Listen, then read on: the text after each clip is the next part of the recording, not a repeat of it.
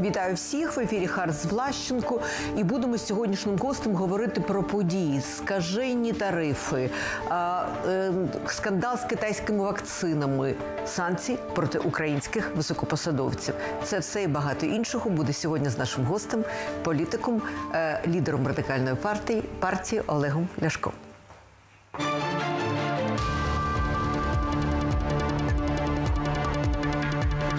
Український політик, народний депутат кількох скликань.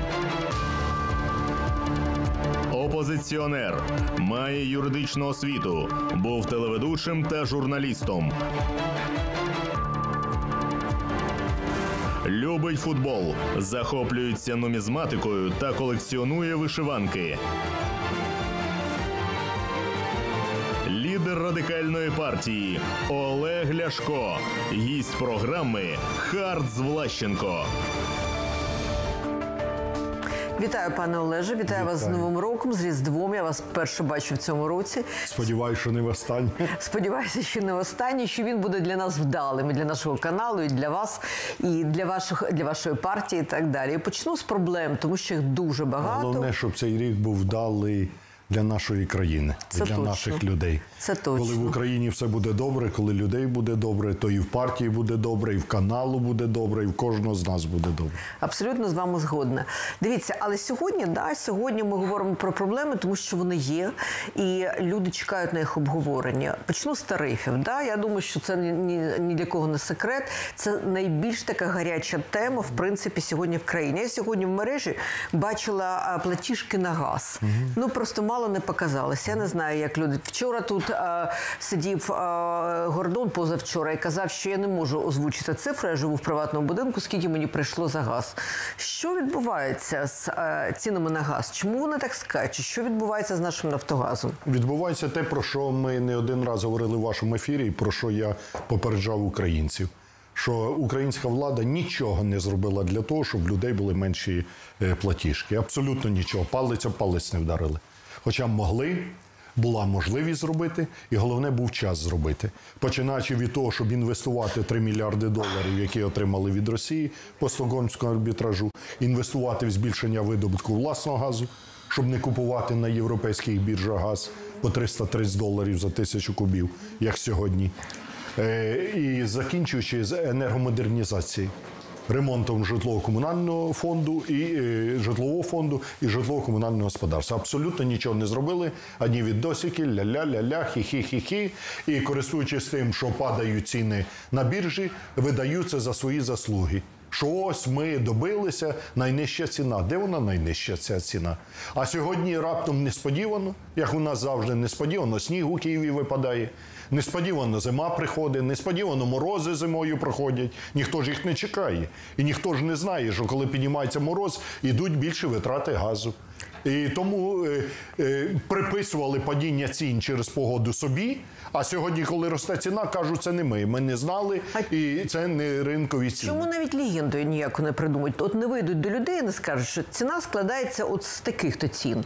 Там видобуток стільки-то, а там на науку стільки-то і так далі. І от ми бачимо е, там наприкінці таку ціну. Хоча б ну збрехали, а Тому так що- взагалі нічого не поясняють. Ні, да, брешуть вони якраз хорошо, тому що це було один із е, ключових обіцянок нинішньої влади.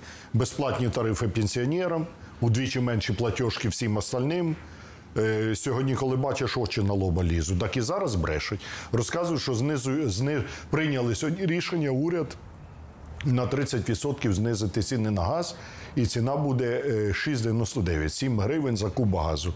А де там 30%? Попередня ціна, за яку ми платили, було 7 гривень 22 копійки. Так. Зараз вони кажуть по 7 гривень. На 22 копійки знизили, а не на 30%. Папа, у вас є сильон математики. Да, більше того, е, це ціна на газ. А візьміть доставку. Хто знизив е, вартість доставки? Ніхто. Навпаки, вона виросла. Тобто реальна вартість, за яку ми будемо платити, вона буде значно значно більша.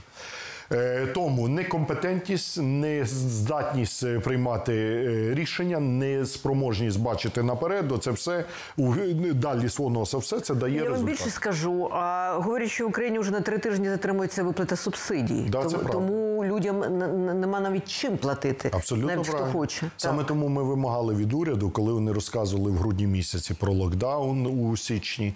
Ми казали, перед тим як вводити все це, треба зробити один крок: внести до парламенту пакет антикризових законопроєктів, які складаються з двох частин. Перша частина це зміни до бюджетного до податкового кодексу в частині підтримки малого середнього бізнесу, щоб люди зберігали робочі місця. Тому що коли е, ну, ресторан пішов, е, працювало в ресторані там е, 20 людей чи в магазині. Закрився цей ресторан, отримав власник 8 тисяч. Як ти 8 тисяч поділиш на 20 людей, які там працювали? Як ти їм розділиш? По скільки? По 500 гривень, по 200 гривень. Що воно їм поможе? Тому, перше, це повинна була підтримка малому середньому бізнесу для збереження робочих місць. І друге, це підтримка тих категорій людей, які найбільше страждають: пенсіонери, багатодітні, люди з інвалідністю, одинокі мами з дітьми. Це ті, кому треба сьогодні вкрай ця підтримка, щоб в них було за що ліки купити, за що е, їжу купити за що комуналку заплатить, а в них сьогодні цих грошей немає. Уряд і влада нічого для цього не зробили. Вони не чують ні наших пропозицій, ні самі не здатні нічого робити. Ще два скандали, які стосуються ну можливо найбільш гарячої теми після тарифів. Це корона, вакцинація і так далі. Дивіться, е, один стосується, мені здається, це взагалі кричуща ситуація, і е, я маю сказати, що я про неї дізналася раніше за всіх. Коли мені позвонив один з мій знайомий, там бізнесмен, сказав: не хочеш батьків вакцинувати тут в Києві? Я кажу, чим? Тому що офіційно жодна е, вакцинація ще не вакцина не прийшла до Києва. Він каже: Pfizer. Я кажу, як, звідки? Що та з Ізраїлю привозять. А потім я буквально на наступний день бачу блог Михайла Бродського, я бачу розслідування з е, сайту одного з сайтів і так далі. І а, виявляється, що сам президент каже, ми зараз будемо розслідувати цю ситуацію. А там є а, серед тих, хто вже прийняв цю вакцину, є депутати, і є, як кажуть, деякі урядовці, міністри, чиновники і так далі. От як це може бути? Ну, Це як може бути? За межею моральності. Це взагалі в голову не вкладається. А як може бути, коли під час локдауну їдуть всі відпочивають? І виставляють фотографії, а потім ще і рахунки виставляють. Типа, в мене є можливість відпочивати. Да, може, в тебе є можливість Це ви відпочивати. зараз про Тупицького кажете? І про голову Конституційного суду, і про президента, і про слуг, і про фракцію, і про міністрів, і про їхню челядь, і про тих, хто називав себе опозицією, які теж відпочивають. Я кажу про всіх, хто поїхав у цьому році відпочивати. Вони думали тільки про себе. Вони не подумали про людей, які сидять на карантині, які сидять в ізоляції, які хворіють, в яких немає можливості не те, щоб відпочивати, кусок хліба купити. А вони всі їдуть відпочивати. зробити. Да, тести не можуть зробити. І хворіють, і не знаючи від чого хворіють. А наші всі ці слуги разом із челяддю їдуть відпочивати. Це за межею добра і зла. Це люди, які ну просто цинічно, публічно зневажають українців, тих, які привели їх до влади. У нормальних країнах міністри чи депутати, які з дуру поїхали відпочивати, і їх на цьому зловили, вони відставку йдуть. А у нас вернуться, зроблять вигляд це нормально. І з одні відпочивають на лижах, інші відпочивають на курортах, задниці гріють. Потім будуть приходити до вас в студію, розказують, як вони дбають про народ. Так, от коли вони будуть вам розказувати, як вони дбають, згадайте, де ви провели свята. І де вони провели свята. І кожного, хто приходить, питайте, де відпочивав. І подивіться, як у нього очі будуть бігати, і брехатиме, що типа, ну десь там, в Єгипті, у дешевому номері двозірковому. Да хоч в Єгипті, хоч не в Єгипті. Морально право сьогодні, коли країні так важко, коли е, мамам з дітьми не виплачують з грудня допомогу, яка повинна бути. Коли люди з інвалідністю не отримують свою допомогу, ви не можете ніде відпочивати, навіть якщо у вас є можливості. Понятно, коли бізнесмен їде кудись відпочивати, твоя справа. Але люди, які працюють на державу чи розказують, що працюють, люди, які із депутатськими значками, ну це аморально відпочивати, так само, як аморально вакцини робити. Е, Молдова, сусідня Молдова з лютого вакцинує безплатно всіх громадян. Бразилія вже Е, вакцинує. Ну, Бразилія, в Бразилії є все. І, і, і, пам'ятаєте, як е, здрасте, ваша тьотя, в Бразилії тільки обізяни, обізян, да. в Бразилії все є. Але Молдова, яка сьогодні має більшу зарплату ніж в Україні. Я просто кажу про країни третього світу. Вони теж вже я б не казав би, що Бразилія країна третього світу. У них дохід на душу населення вищий, ніж в Україні. Але Молдова, маленька, маленька Молдова, наша сусідня. Литва, Латвія. Е, е, Албанія, е, Молдова, вони безплатно вакцинують своїх громадян. Мене питання: а коли українцям буде безплатна вакцина? А що робила ця влада рік із коронавірусним фондом в 64 мільярди гривень? Зараз поки Чому що не... по 3 тисячі євро дають вакцину. Чому не уклали контракти? Вам, до- до речі, не пропонували? Ні, не пропонували. Е, чому не уклали контракти? Чому не закупили вакцину? Е, чому нам обіцяють тільки вакцинацію із другого півріччя? Чому всі інші вже вакцинуються, а ми досі ні? От вам і вся оцінка їхній роботі. А ті, хто сьогодні, депутати, міністри, чиновники, вакцинуються контрабандною вакциною. Звісно, в них є бабки, щоб вакцинуватися, тому що у них хороші зарплати, у них хороші взятки, у них хороші откати, у них все є. У них немає тільки совісті, у них немає серця. І коли вони себе називають словами. Тут не тільки совість, тут вже злочин відкритий, тому що це контрабанда. Дивіться, злочин це той, хто завозить контрабанду. Але коли депутат, міністр, чиновник іде вакцинується, Контрабандним Е, товаром. е, е, Байдуже яким, хоч контрабандним, хоч легальним. У Польщі легальним вакцинували зірок естради і величезний скандал і пішли в відставку. Це так. от коли депутати, міністри, чиновники йдуть вакцинуються, коли мільйони українців хворіють і десятки тисяч померли, тому що в них немає можливості ні тесту зробити, ні вакцинуватися, ці люди не мають права називатися не те, що слугами. Вони не мають права взагалі ніде працювати, тому що у них немає головного, що треба для слуг народу совісті і відповідальності перед людьми. Щодо вакцинації мене, мені ніхто нічого не пропонував. Більше того, на що мені пропонувати? Я дождуся, коли це буде масово, і зроблю це. В мене, понятно, є. А ви будете робити вакцину? Да, я буду робити. Тому що зараз дуже багато публікацій, а, і деякі там а, е, мої співбесідники тут в цьому кріслі казали нещодавно, що вони не будуть вакцинуватися, тому що багато побочки і так Дивіться, ви згадали Бразилію. Е, Я пам'ятаю, е, дивився історичні е, хроніки, як в Бразилії на початку ХХ століття були цілі антиурядові бунти. Пішов відставку уряд, тому що вони намагалися вакцинувати громадян від оспи. А ті не хотіли, бо розказували, що від вакцини від оспи рога виростуть, там ще щось буде, ще щось буде. Да, закінчилося відставкою уряду на початку ХХ століття. От сьогодні вся ця істерія з вакцинуванням мені нагадує, що схоже. Да, зрозуміло, що всякої вакцини є побочні, але покажіть, е, є два варіанти, да? е, кілька варіантів, що робити. Перше, сидіти вдома, нікуди не виходити. Е, ну так можна все життя просидіти. Друге, вакцинуватися тільки не чимось фальшивим і брехливим, а реальною вакциною. От про чим? І третій варіант хворіти і помирати. Тому, знаєте, коли ми скаржимося, то погано, то погано, то погано. Знаєте, е, хто ні на що не скаржиться, покійники, їм уже добре. От я хочу, щоб люди не хворіли, і не треба гнівити Бога і на що скаржиться. Да, можливо, ми не отримали більше, ніж хотіли. Можливо, ми не заробили стільки, як хотіли. Можливо, ми не реалізували якісь свої плани, але найголовніше це здоров'я. Щоб було здоров'я. Найголовніше, щоб живі і рідні, і близькі були, і друзі. Найголовніше це сім'я, це стосунки, все інше то таке. Сьогодні не заробили, завтра заробимо, післязавтра заробимо. Здоров'я і життя от що найголовніше. Можливість спілкуватися з тими, кого любиш, кого поважаєш. Оля, хочу ще з вами е, закінчити тему вакцинації. Дивіться, спеціалісти а Національне агентство по нагляду за здоров'ям в Бразилії, про які ми про яку ми вже говорили, які перевіряли вакцину китайського виробника а, Сіновак да, на ефективність, оголосили, що загальний рівень ефективності а, Коронавак нижче е, 60%. Це в принципі така погана новина. Тому що 50%, знаєте, 50 на 50, що там буде з ефективністю. І мі- міністр охорони в зв'язку з цим, тому що піднявся скандал, ми майже 100% оплатили е, передоплату, що нам дадуть цю вакцину. Більше мільярда гривень. Да, і тепер ці гроші повернути буде важко, тому що будуть суди, нам китайці будуть говорити, а- доведіть, що там 50% і так далі. Е, Але міністр охорони Максим Степанова зазначив, що згідно з укладеним договором про закупівлю цієї вакцини, її ефективність повинна бути не менше 70. е, 70. Довести. А як це якщо вона, якщо вона буде начебто менше, да, а, е, то вони будуть вимагати гроші назад. От цитата бачу, ба- е, цю цитату бачать наші глядачі на екрані.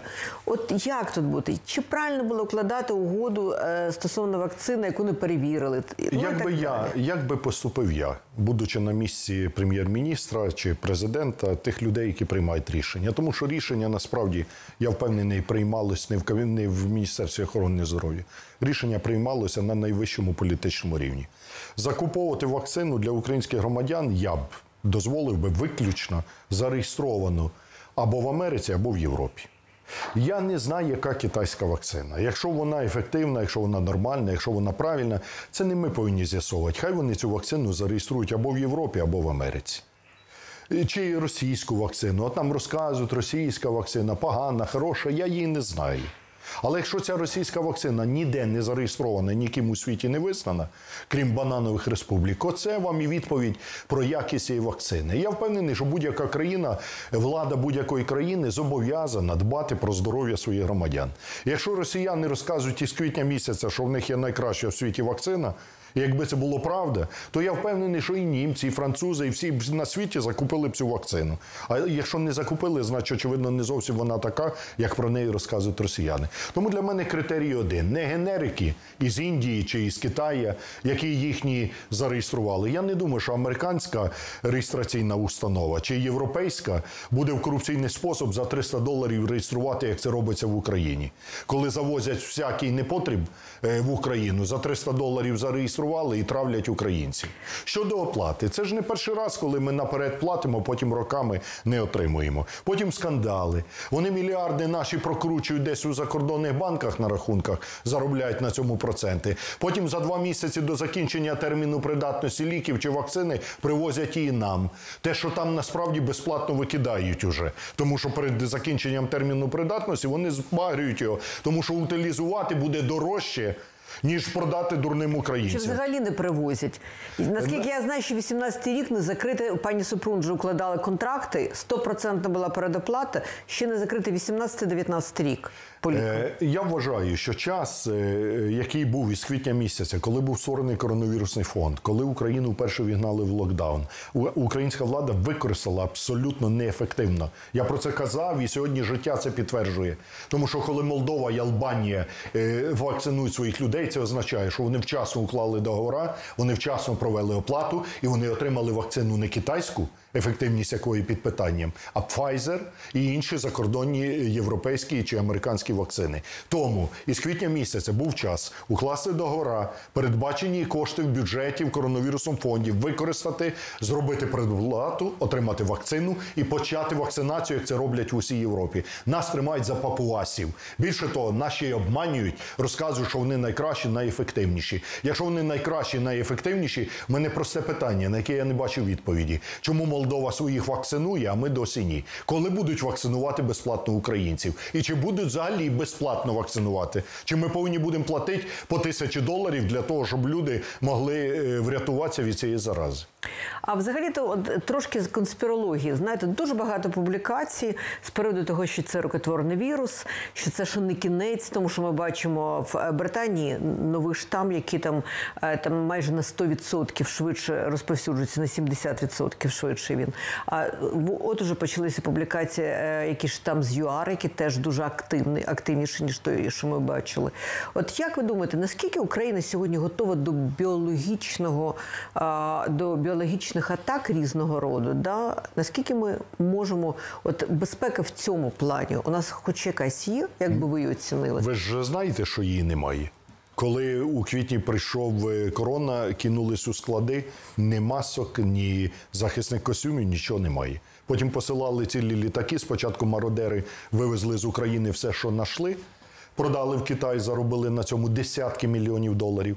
І досі Хоча фірми відомі, все відомо, але ви бачили де-небудь прізвища тих, хто це зробив? Хто вивозив за 3 копійки з України маски, щоб не платити мита й податки, а там продавав по 3 долара за маску. Де ці прізвища? Їх важко встановити? Ні. Де назви фірм? Їх важко встановити? Ні. Відповідь на це питання очевидна, тому що це пов'язані з владою фірми. А тому вони їх і не розкривають. Як ви думаєте, дізнаємось ми зараз прізвище тих, хто сюди привозить Pfizer з Ізраїлю, а називають декілька прізвищ, в тому числі людей, які члени комітету медичного Ви- або по, охороні здоров'я. Ми їх прізвище почуємо публічно? Дивіться, в Біблії написано, все тайне стане явним. Не дізнаємося сьогодні, дізнаємося завтра. Дізнаємося після зміни влади. Я вам обіцяю, список фірм і прізвищ мародерів, які в січні лютому 20-го року, коли українські лікарі по 100 гривень за маску свої платили, і коли сотні лікарів померли через те, що їм не дали засоби захисту, я всі ці фірми з-під землі підніму і цих мародерів. І на кожному стовбі вони будуть висіти, і за ноги витрушу ті бабки, які вони мільйони, десятками мільйонів поховали в офшорах. Час це питання часу. Не зробить ця влада, зробимо ми. Тепер щодо біологічного захисту. У нас, на жаль, немає цього біологічного захисту, починаючи від е, знищення установ Академії наук, які над цим працювали. І фінансування ніякого впродовж багатьох років немає. І закінчуючи ліквідацією санепідемстанцій. Фракція Які не поновили, до речі. Да, у, нас, не поновили. У, неї лік, у нас є лікар, але немає Да. Фракція радикальної партії не голосувала в минулому парламенті за ліквідацію санепідемстанцій. Більше того, я з парламентської трибуни в 17-му році виступав і попереджав, що закінчиться це епідеміями, від яких ніхто не зможе захистити українців. Тепер щодо причин походження цього вірусу, я впевнений, що всі найпотужніші розвідки світу вже над цим ретельно працюють. Ми бачимо повідомлення Організації охорони здоров'я в Китай відправляє експертів. Повірте мені, ті експерти працюють. Вони ж начебто не допускають туди нікого. Уже прийняли рішення допустити. Ті експерти, повірте мені, працюють не тільки на Організацію охорони здоров'я, а на всі розвідки світу разом взяті. Е, Це питання справедливості встановити походження е, виникнення цього вірусу. Хоча б заради пам'яті більше мільйона людей вже померло. І скільки ще помре, невідомо. Дай Бог, щоб І не тільки справедливість, можна висувати е, якісь вимоги, да? і в тому числі і фінансового характеру. Дивіться. Всі ж країни втратили дуже Вимоги багато. висувати можна. Он е, е, 8 січня виповнився рік, як Іран збив Боїнг. В той же день, коли рік тому Іран збив Боїнг, я виступив із заявою. Треба вимагати створення міжнародного трибуналу. Тому що сподіватися чесно розслідування від іранської влади це треба бути дуже наївними людьми. Подивіться, рік прийшов. Компенсацій немає, звіту про причини збиття літака немає. Українського звіту немає. Е, І, Оце і іранського теж. Е, Притягнення до відповідальності немає. Скільки ще років родичі, друзі, жертви Будуть там на небесах будуть ждати справедливості? Зразу треба було робити, а не розказувати, що ми з Іраном домовимося. Про що ви можете домовитися з Іраном? От як ми з вами заговорили про міжнародні стосунки, це буквально сьогоднішня вчорашня подія. Представник Росії в нормандському форматі Дмитро Козак заявив, що чи Козак не знаю, як правильно, що сторони провели в Берліні корисний діалог, але він знову нічим не закінчився. Ми знаємо, що Андрій Єрмак їздив на цю зустріч. Знову він такий представник президента да, з цих питань, питань е, мінського формату і урегулювання миру і війни на Донбасі, і знову не можуть домовитися.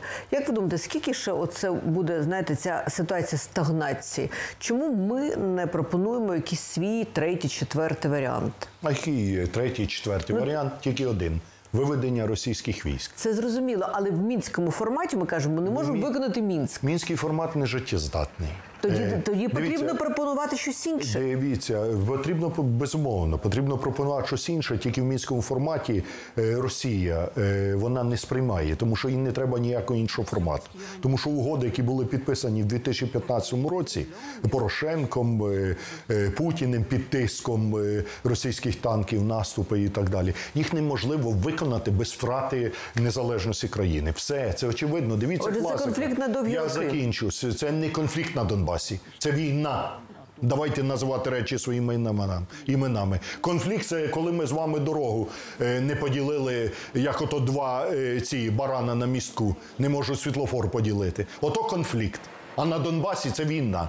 І тисячі людей, десятки загинули, і три мільйони біженців. І ми розказуємо дуже дипломатично конфлікт, конфлікт. Який це конфлікт? Тоді це чому? війна на європейському континенті. От що це таке. Як вирішити цю проблему? Два варіанти: або бути сильними і відбити силою, або натиснути на зажати яйця Росії так, щоб вони самі звідти пішли. Третього варіанту немає. Третій варіант це теоретично зажати яйця Росії. Е, Теоретично чому Велика, потужна Е, країна. Дивіться, чому теоретично? Все, все колись, е, що було в теорії, ставало практикою.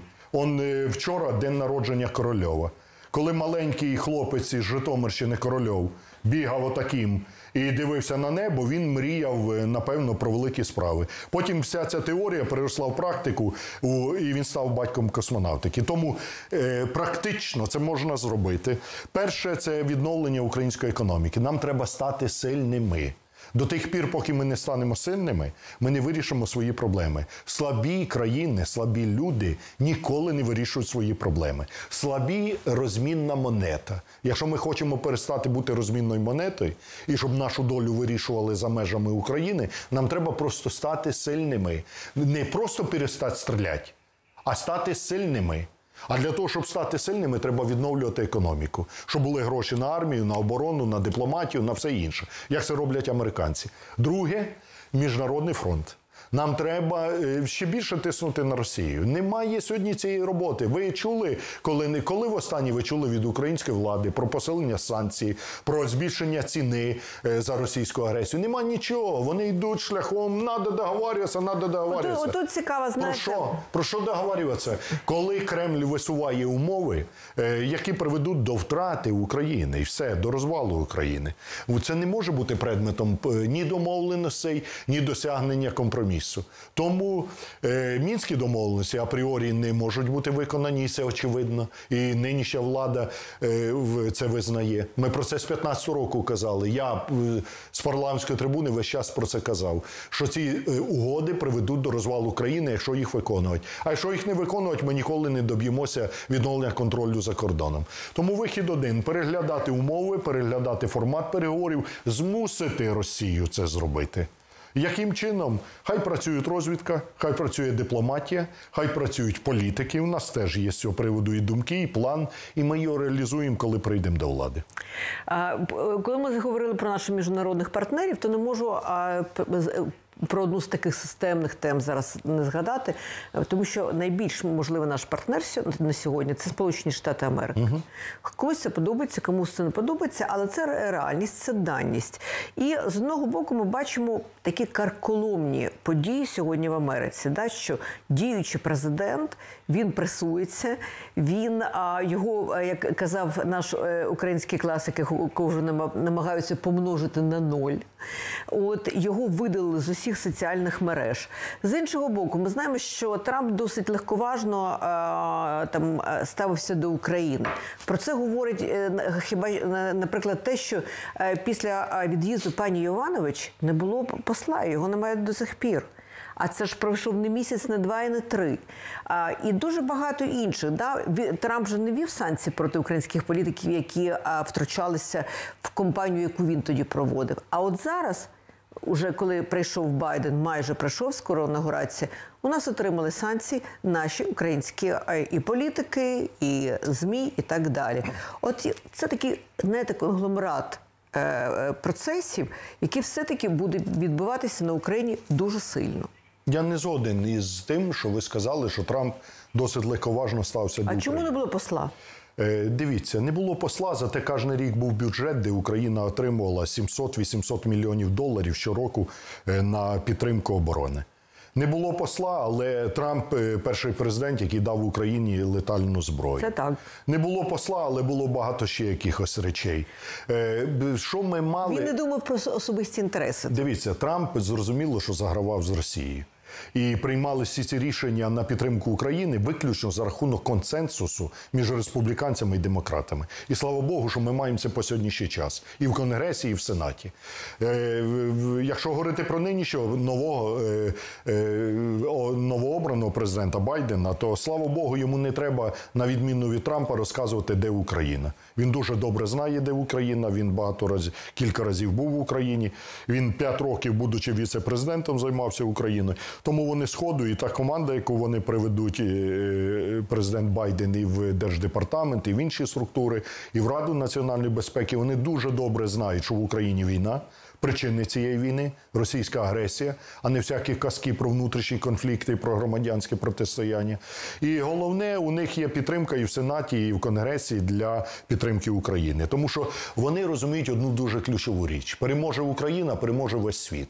Перше, в Європі перестануть гинути люди, в Європі стане на одну війну менше. І найголовніше, що перемога України це перемога Америки. Ви правильно сказали, що сьогодні Америка наш найбільший союзник. Але при цьому треба ні від не лягати ні під кого, а тримати свою позицію. Союзники це рівноправні союзники, а не е, зверху сіли і поганяють. Тепер щодо цих санкцій і блокування. Ви побачили реакцію влади? Вони розказують про те, що вони не будуть реагувати. Е, в чому взагалі питання? Американці визнають народних депутатів України агентами Росії. Агентами вони прямим текстом кажуть, ці народні депутати України, один із них від президентської партії, агент Росії. І президентська партія каже, ми на це не будемо реагувати. Ребята, як ви не будете реагувати? Тобто ви таким чином покриваєте тих, хто втручався в американські вибори, а ви взагалі прогнозуєте наслідки е, вашого нереагування? Тому я впевнений, що вони не тільки зобов'язані реагувати.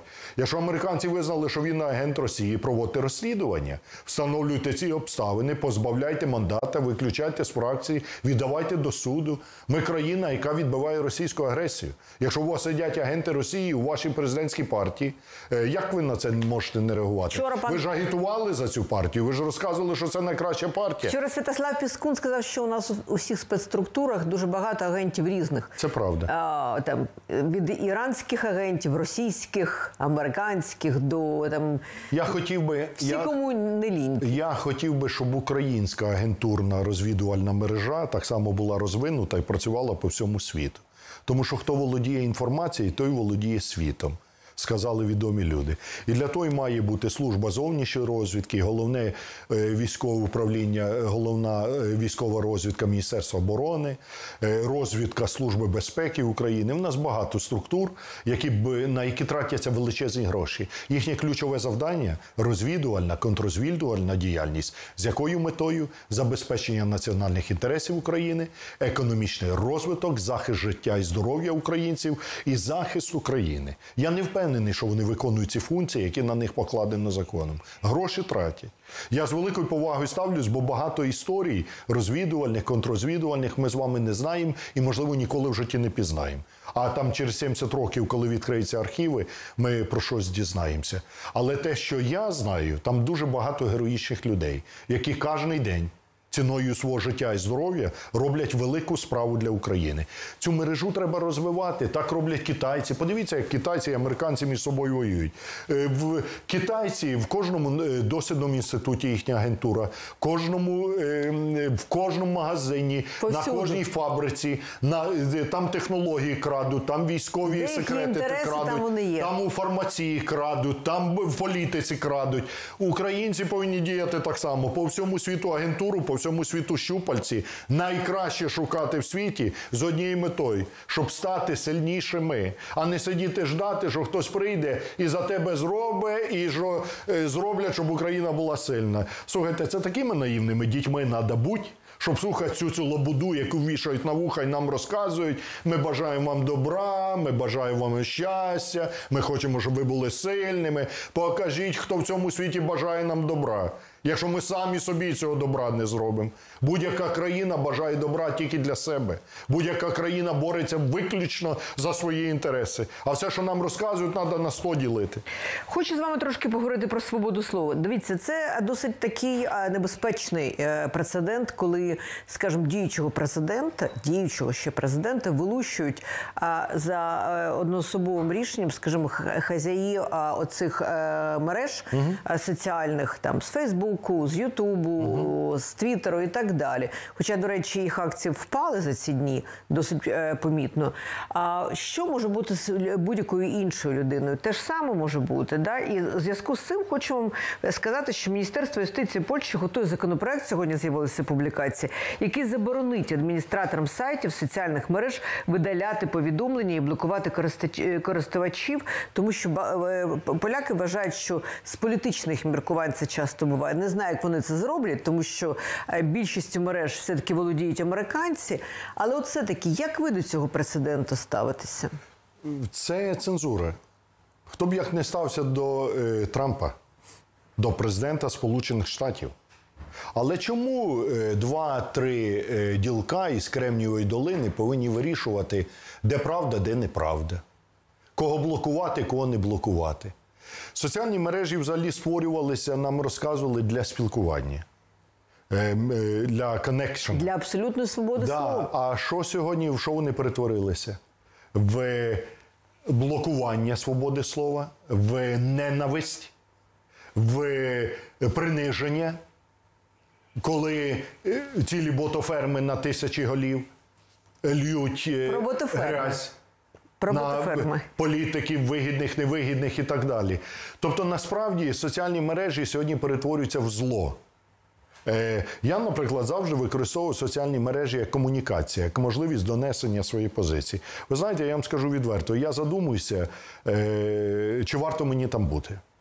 Тому що коли ти дивишся на всю цю агресію, на всю цю ненависть, на несприйняття, коли абсолютно е, чужа, абсолютно незнайома людина, яка тебе не знає, яка не знає твого життя, яка не знає, що ти думаєш, він вважає, що він має право писати на тебе, що ти ідіот. Що ти такий сякий, що ти.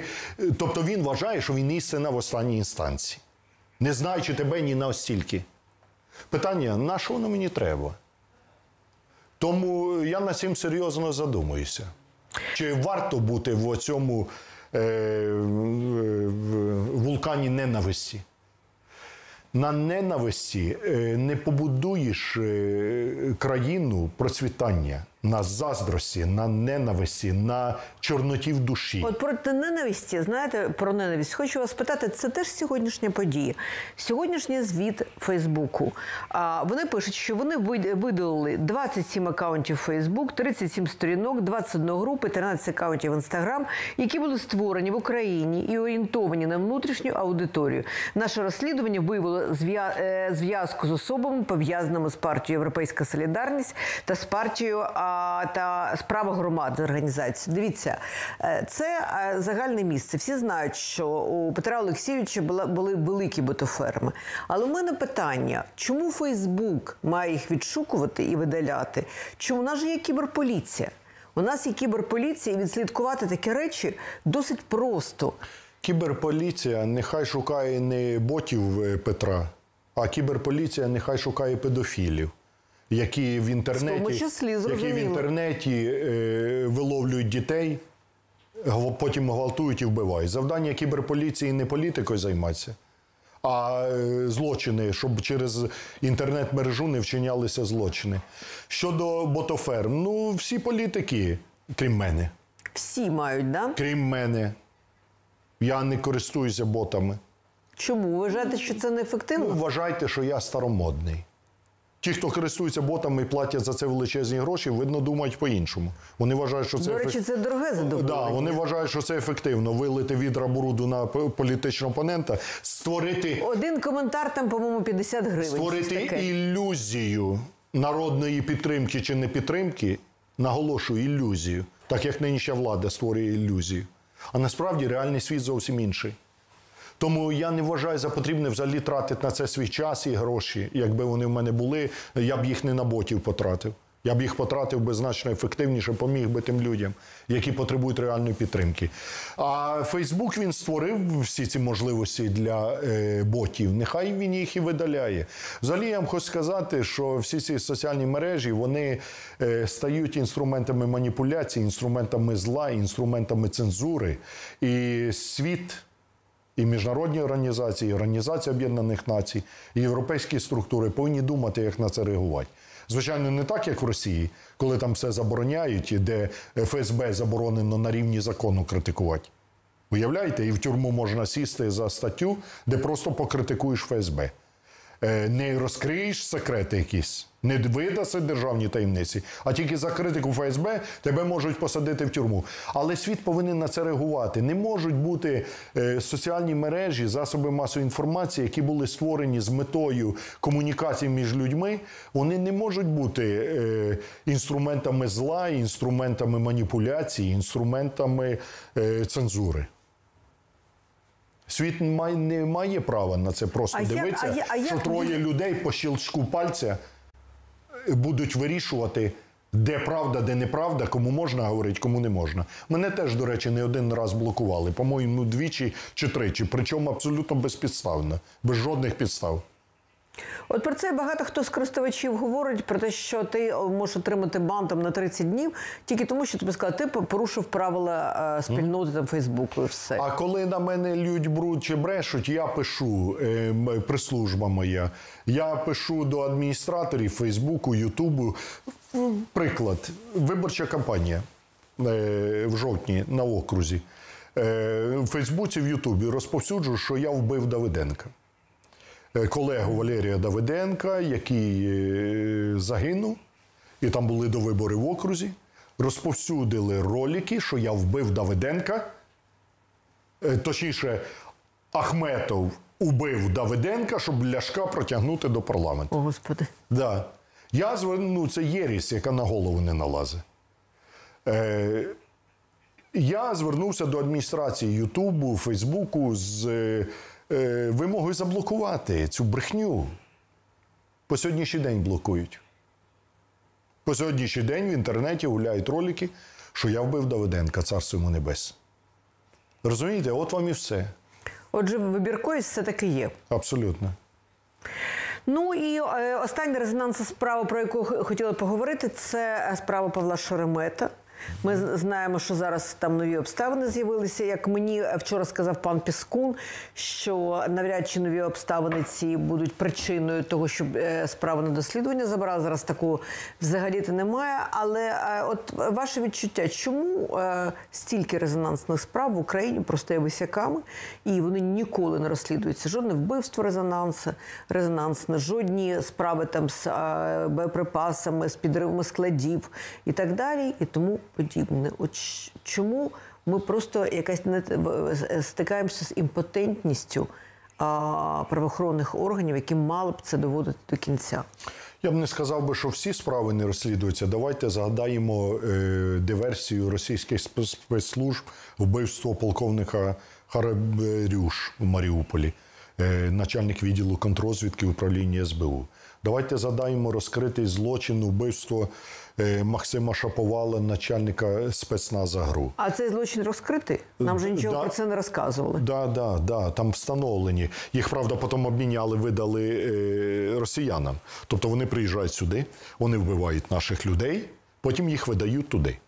Я б ніколи не видав би за жодних умов. Ні того Це е. Цемаха, який причетний до Як збиття ви воїна. в в державі Ізраїль можливо було б, щоб вбили там контрозвідника їхнього нахабно посеред Тель-Авіва, а потім цих людей відпустили кудись? Держава Ізраїль е, це в багатьох питаннях взагалі приклад. Починаючи від питань безпеки. Ми ж пам'ятаємо Держава. це посилайте мальчикам, Да, да? де, де, да, е, Голда Мей, родом із Києва, до речі. Е, Добра бабушка, яка родилась на Бесарабці, але е, яка зробила сильним Ізраїль. Отакий маленький Ізраїль, навколо якого всі ворожі країни. І вони побудували армію. Але для мене найбільше приклади Ізраїля це сільське господарство. На піску тричі на рік збирати врожаї. І землею в Ізраїлі не торгують. Е, Повертаючись до злочинів по Шеремету. Е, Резонанс і реакція людей зрозуміла, тому що обвинувачили у вчиненні цього злочину відомих людей, волонтерів, Е, лікаря, волонтера, військового. І люди вимагають справедливості. Якщо вони винуваті, посадіть. А якщо вони не винуваті, чого ви їх рік тримаєте в тюрмі? Якщо ви їх брали і розказували, що у вас є всі докази. Якщо у вас є всі докази, чого вони рік без вироку сидять? Чому немає публічного розгляду? Тому це Ну, справедливо. зараз вже суди йдуть, наскільки я знаю. Ні, це тільки суди по продовженні міри запобіжного заходу. Це не розгляд справи по суті. Тому люди мають право вимагати справедливості. Е, Щодо Пан Геращенко каже, що справа передана до суду. е, Слідство закінчилося. слідство, можливо, закінчено, можливо, сьогодні етап ознайомлення з матеріалами справи. Але по суті справа в суді не розглядається. Е, Я думаю, що це буде одна із тих справ, як справа Бейліса, е, коли пам'ятаєте на початку ХХ століття, коли судили за вбивство дітей е, невинну людину. От я думаю, що до цієї справи буде прикута увага, найретельніша увага всієї української громадськості. І ліві вироки у цій справі бути не, бу- не можуть бути апріорі. Тепер щодо того, що коли не розкриваються якісь інші злочини, причин кілька, або до цих злочинів причетна влада, або ці злочини вчинені на високому професійному рівні.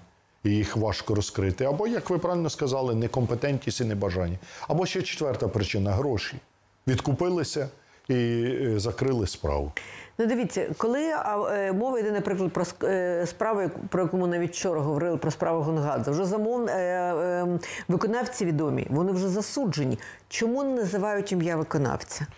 Чому не називають ім'я ви- Ви- Не виконавця, замовника, я перепрошую. е, виконавець, Пукач, і так. е, він же ті, хто сидять? Чому не називають ім'я? Дивіться. Я, я впевнена, що Пукач сказав, хто був Дивіться, замовником. Пукач говорив е, Кравченко, Пукач говорив Кучма, Пукач багато що говорив. Е, В мене є сумніви щодо вбивства Ганадзе. З висоти сьогоднішнього дня. Я думаю, що вбивство Ганадзе – це робота іноземних спецслужб. Все-таки. Да. Я думаю, для цього є підстави в мене так думати. Чому? 13-й рік, останній рік економічного е, розвитку України. Зростання ВВП України 13%. Рух кучми на захід. Я думаю, історія, е, ця трагедія вбивства Ганадзе була організована іноземними спецслужбами для того, щоб дискредитувати кучму, щоб прив'язати його намертво до Росії. Коли ви подивитеся графік економічного розвитку, е, не 13-й, а третій рік. Третій. 2003 рік це пік економічного розвитку. З 2003 року українська економіка отак, вниз. Отак ситуативно трохи вверх, але ми не досягли по сьогодні, 20 рік, через 17 років ми не досягли рівня економічного розвитку 2003 року. Я думаю, що нас тоді е, цим вбивством Магнадзе збили на зльоті. І тоді, в 2000-му, ми всі були абсолютно впевнені, що це справа рук Кучми і його оточення. Плівки Мельниченка, виступи Мороза, багато-багато інших фактів. Коли ви подивитесь на цю історію сьогодні, через 20 років, починаючи від плівок Мельниченка і усіма іншими питаннями, я думаю, що відповідь для кожного очевидна. Вбивство Гангадзе – це робота була спецслужб, яких розслідувати треба заради пам'яті Гонгадзе, заради справедливості.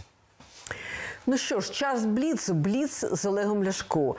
Якщо ми вже заговорили про політиків і про розвиток України, кого з політиків ви вважаєте, от, наприклад, перша п'ятірка, найефективнішими за всі роки, там, скажімо, там, там незалежності України за 30 років?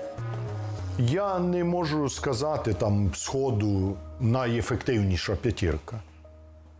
Е, Можливо, які відіграли найбільшу роль е, в розвитку України?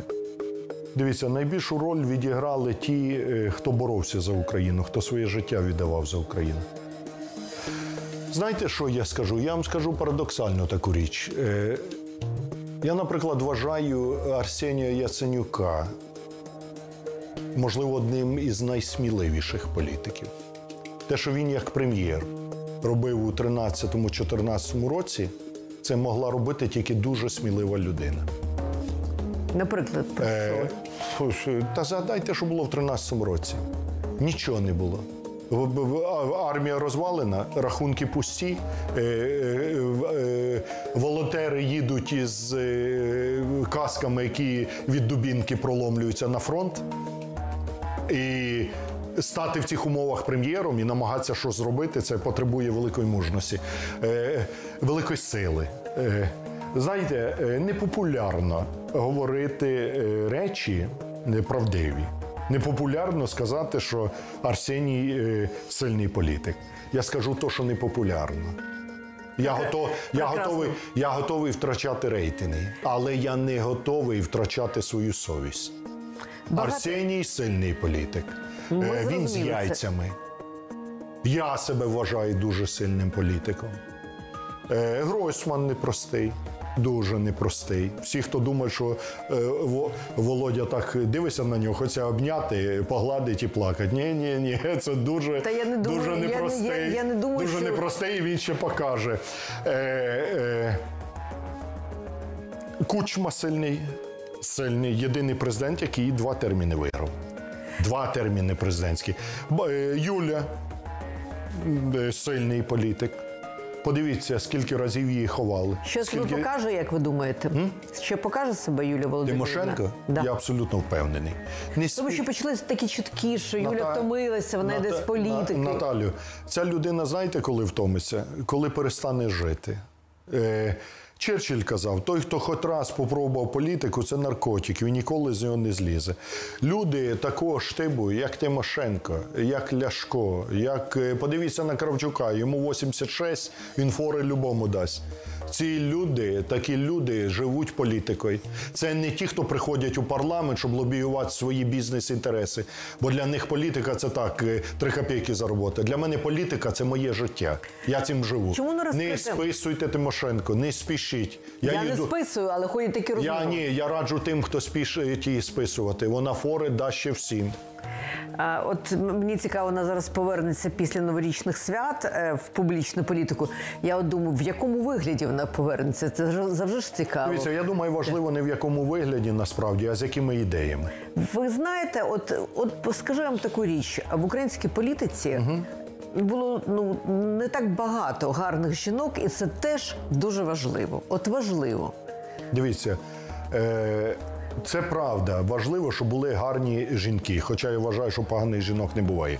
Але через те, що ми дивимося в українській політиці, хто гарний і в чому він ходить, а не дивимося на його ідеї. Ну, в чому і на його інше. програми. Знаєте, можливо, ми так і живемо, що ми е, голосуємо емоціями, а не тверезим розумом і здоровим глуздом.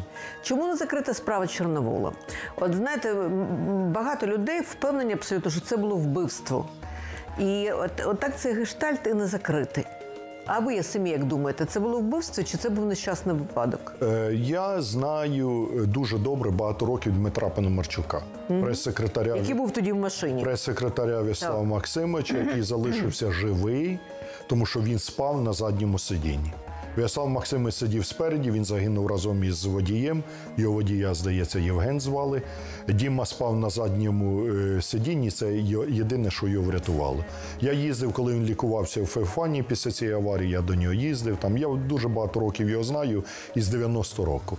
Дмитро, е, і я йому довіряю у цій справі. Дмитро впевнений, що це було вбивство.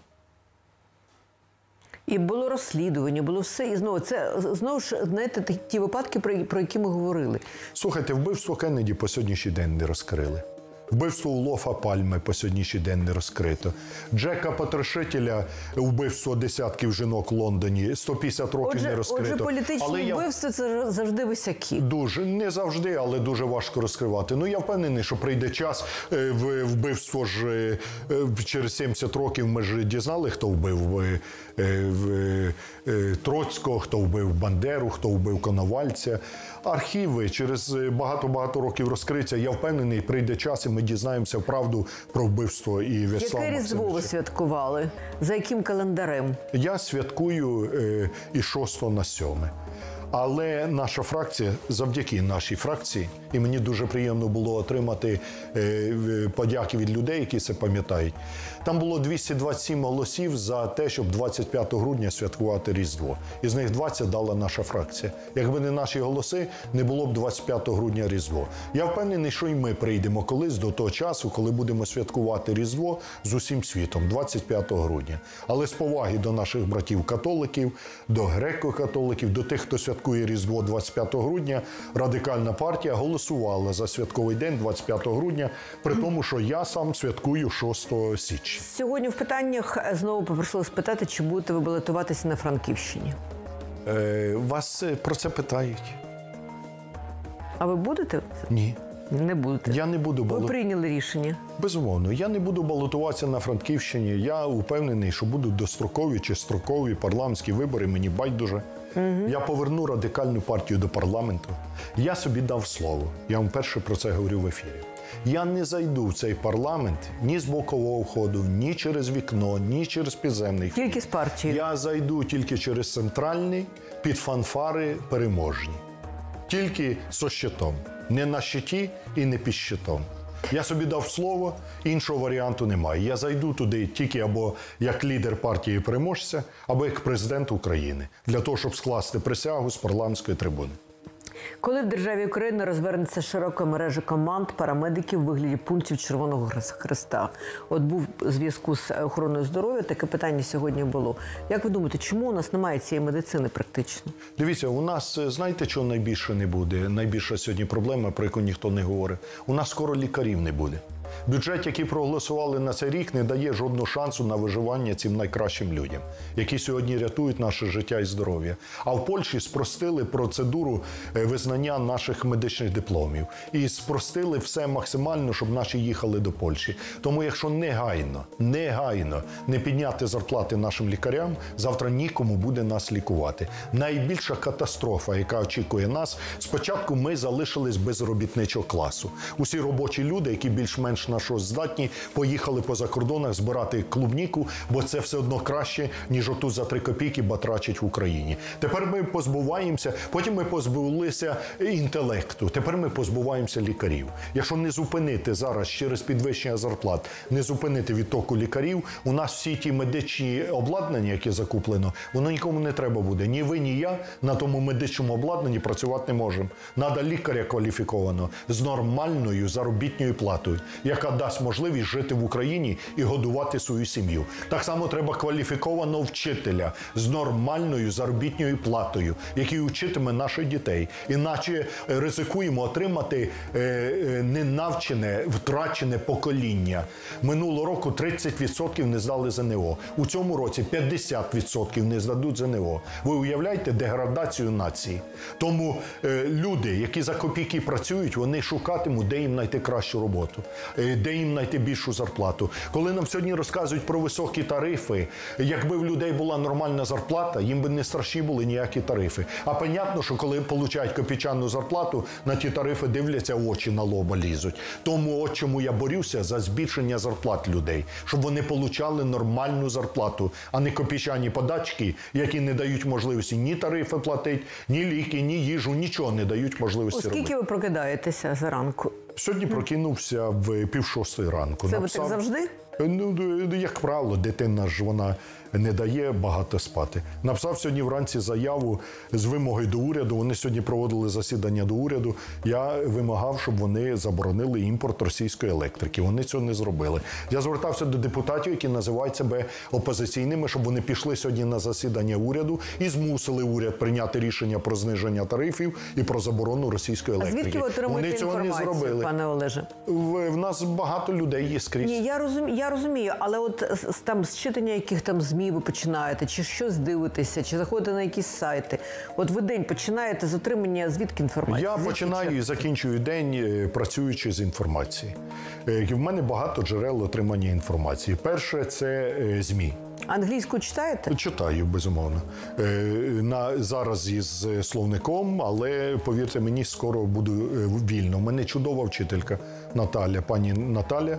Е, Ось у січні рівно рік, як я займаюся англійською, і я вважаю, що в нас великий прогрес. Я отримую із е, ЗМІ, я отримую з соціальних мереж, я отримую від людей в органах державної влади, в спецслужбах, в розвідувальному товаристві, в політичному класі. У нас дуже дуже багато людей, багато джерел і багато інформації. Є у вас інформатори в, е, в кожній фракції, скажімо так, парламентській? Е, Ми спілкуємося з багатьма людьми. Отже, ви знаєте, що відбувається всередині і в кулуарах. Да, ми дуже добре. Ми не просто знаємо, ми дуже добре знаємо, що там Чи відбувається. виступаєте ви за Тому я вам кажу, дуже добре знаючи, що там відбувається, я вам всім кажу, нам треба радикально міняти е, ситуацію в Україні, міняти економічну політику і робити все для того, щоб зупинити розвал країни. Це не вігласи, це неуки. Вони не знають, за що вони У нас лишилися дві хвилини, і я хочу вам нагадати, що сьогодні щедрий вечір. Сьогодні старий новий рік, так званий. Сьогодні будуть діти колядувати, сьогодні будуть співати, е, збирати цукерки. Я, наприклад, дуже люблю. Коли приходять діти колядувати, я просто Я в дитинстві я люблю. млію. Да. Я в Яблунівці в інтернаті вчився малим. Для мене новорічні свята це були найкращі свята. Ми по селу йшли е, в кожну хату. Добрий день, колядин, колядин, я у батька один, а мішки не повні, дайте, е, дайте щось там, дайте. Да. І потім е, зберуєш отакий мішок копійок. Ну, люди ж як у селі раніше. Хтось, якщо рубля дасть, ще космос щастя, а так в основному Та 5 копійок, поїсти 20 пиріжки, копійок да. печення, конфети, яблука. І потім приходиш в інтернат, сидиш, розбираєш ці копійки. Це, Я це у- фантастичні Я у бабці селі колядувала, до цих пір пам'ятаю, були такі кочегори снігу, що були вищі, ніж я. Так. Я бігла серед них, а вони були вищі. а сьогодні снігу немає. Наталю, Але повірте, кажуть, що замітає. Наталю, Завтра буде повірте, сніг. коли ми з вами були молодші, і снігу більше було, і птички краще 30 секунд. співали, і трава зеленіша була. Зараз я і сонце вас. яскравіше світило. Зараз люди ще світило. за годину підуть дітей класти спати. Ви кажете, що ви постійно з малим. Да. Що ви йому співаєте? Як, Е, да. е, Як вкладає його спати, коли яку колискову? А я вам зараз е, поставлю. е, Яку колискову ми співаємо У нас своєму 30 секунд. Е, да, яку колискову ми співаємо малому. Е, Шикарна вона, до речі. І я разом підспівую із е, нашим е, чудовим сином.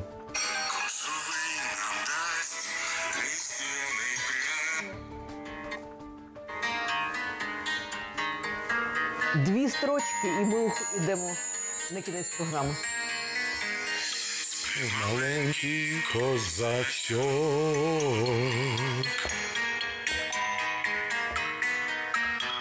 Питайся на бочок.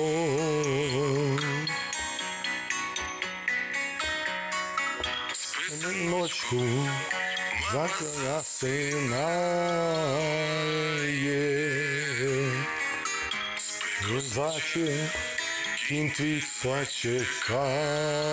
Що дуже гарно, до речі, колискова. Чудово. Що ж, друзі мої, от сьогодні щедрий вечір. Ви будете скоро вкладати дітей спати, будете їм подарунки класти під подушки. Буде вкладати е, Олег Ляшко свого сина теж сьогодні. Я вам бажаю прекрасного щедрого вечора. І к- яка кожен вечір в цьому році, 21-му, для вас буде щедрим. А вам нагадую, що завтра, о 21-й годині, народ проти, і там буде дуже багато сенсаційної інформації. Не пропустіть. Бережіть себе, бережіть своїх близьких. Завтра побачимось.